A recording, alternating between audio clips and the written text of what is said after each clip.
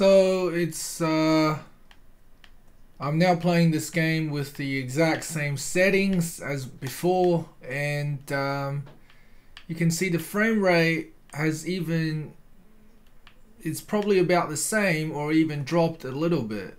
So you know that um, this graphics card is uh, probably not much better than what I had before but the good thing is, oh, actually, it's about exactly the same. But the good thing is, it doesn't use as much power because if you remember, my last graphics card, it had uh, it had two fans. It needed two extra power cables. Was a lot bigger, and the new graphics card is a lot smaller and only requires one fan. Doesn't require any extra power cables so I guess you can still think of it as an upgrade, but it just shows you that if you spend too much money too early, um,